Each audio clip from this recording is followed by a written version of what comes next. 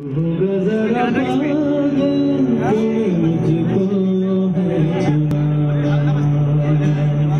welcome to my new blog नई चंद चलाती सुबह के साथ आज आप सभी का फिर से स्वागत है। गाइस मैं आ चुका हूँ अभी मॉर्निंग वॉक पे। And morning walk is very essential for the healthy body so मैं हूँ अभी मेरे रूम के बाहर रोड पे। एंड बेसिकली मैं बता दूँ कि मैं फ़िलहाल रह रहा हूँ अभी रेंट पे, क्योंकि मैं एक नर्सिंग प्रोफेशनल का सिलेबस कोर्स कर रहा हूँ।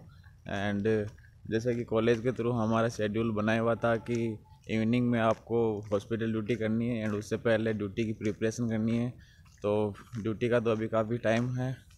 एंड हॉस्पिटल ड्यूटी का मैं बता दूँ कि हमारे नर्सिंग प्रोफेशनल में होता क्या है कि पहले तो आपकी चलती है छः सात महीने की थ्योरी क्लासेस एंड उसके बाद में होता है आपका प्रैक्टिकल एंड ऑब्जर्वेशन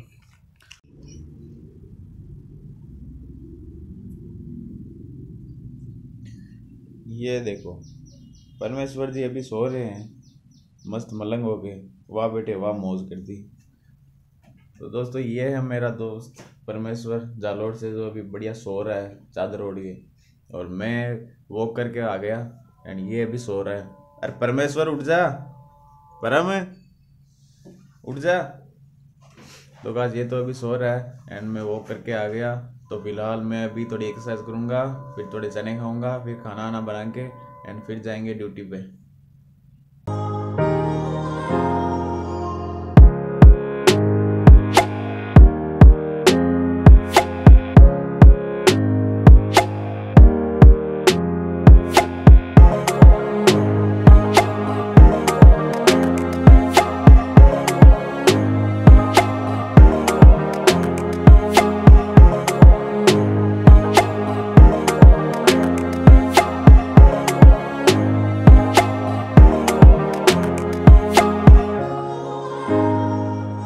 दोस्तों हम खाना वाना खा के रेडी है हॉस्पिटल जाने के लिए एंड हॉस्पिटल की बस हमें कॉलेज सॉरी हॉस्पिटल तक ड्रॉप करने के लिए कॉलेज में आती है तो हम चलते हैं कॉलेज वहीं से बस में बैठ के और हॉस्पिटल तक जाएँगे एंड अपनी ड्यूटी पर काम करेंगे।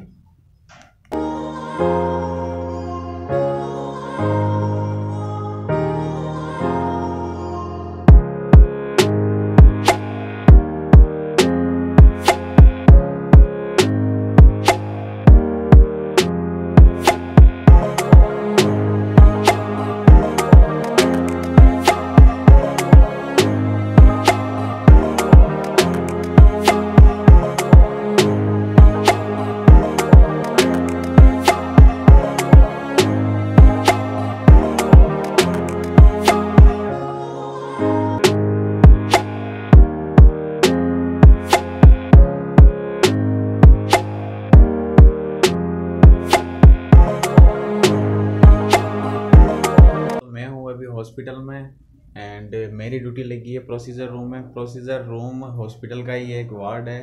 काफ़ी छोटा ये वार्ड है, पर यहाँ पे बेसिकली काम ये होता है कि कोई भी पेशेंट होता है जिसके इंजरी हो या फिर कोई सर्जरी की भी हो तो उस पर मतलब नॉर्मल भाषा में कहूँ तो पट्टी करना ड्रेसिंग करना एंड ये काम यहाँ पे होता है। तो प्रोसीजर रूम में काफ़ी छोटा है बट काम काम चलाने लायक है। यहाँ पे बेसिकली पेशेंट को लेटाया जाता है एंड जहाँ पे इंजरी या फिर ड्रेसिंग इंजरी टाइप साइड पे ड्रेसिंग करनी होती है तो उस पर ये लाइट लगाई जाती है रोशनी के लिए एंड बाद में ड्रेसिंग की जाती है, पट्टी निकाली जाती है नॉर्मल समय कहे तो। एंड यहाँ पे ये ड्रेसिंग ट्रॉली है, यहाँ पे पूरा इंस्ट्रूमेंट या फिर ट्रीटमेंट लिखा हुआ है, जो काम में आता है ड्रेसिंग के लिए एंड यहाँ पे हैंड वॉश के लिए ये हैंड वॉश के लिए प्रोसीजर लिखा हुआ है एंड ये सैनिटाइजेशन के लिए हैंड हाइजीन के लिए। जब भी आप के पेशेंट को हाथ लगा दिए या बिफोर आप hand touching and after hand touching for the patient ये हाइजीन लिखा हुआ है। हाइजीन का प्रोसीजर लिखा हुआ है जो अपन को फॉलो करना होता है। एंड हॉस्पिटल में देखो काफ़ी मात्रा में यहाँ पे वेस्टेज निकलता है हॉस्पिटल से। जो कि सेग्रीगेशन करना पड़ता है। सेग्रीगेशन का मतलब होता है विभाजित करना।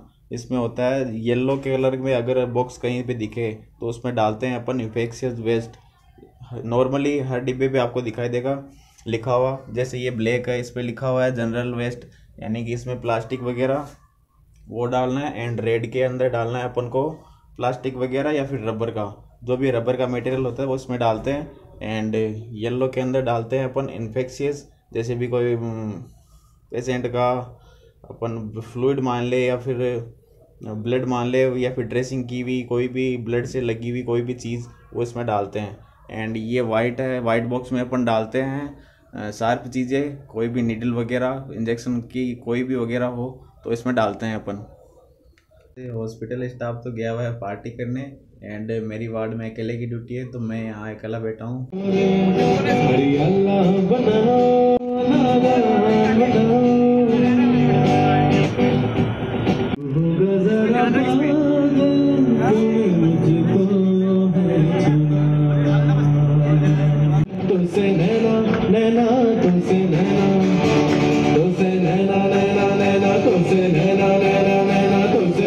ड्यूटी हो गई है हमारी कंप्लीट एंड मैं आ चुका हूँ रूम पे। काफ़ी अच्छा रहा आज का दिन एंड इस ब्लॉग को यहीं विराम देते हैं। मिलते हैं अगले ब्लॉग में, तब तक के लिए take care bye and channel को प्लीज़ सब्सक्राइब ज़रूर कीजिएगा।